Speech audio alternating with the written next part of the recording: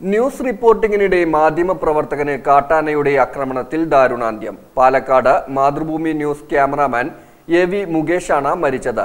കോട്ടേക്കാട് വെച്ച് കാട്ടാനക്കൂട്ടം പുഴ മുറിച്ച് കിടക്കുന്ന ദൃശ്യം പകർത്തുന്നതിനിടെയാണ് കാട്ടാനയുടെ ആക്രമണം ഉണ്ടായത്.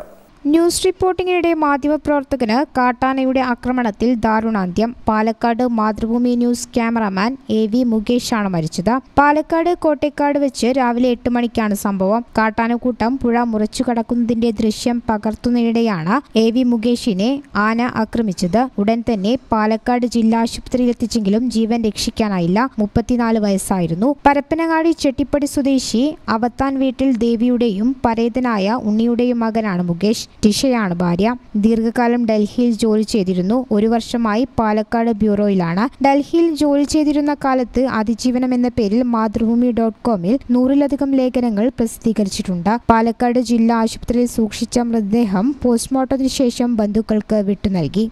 News bureau Malappuram. Qatar golden diamonds.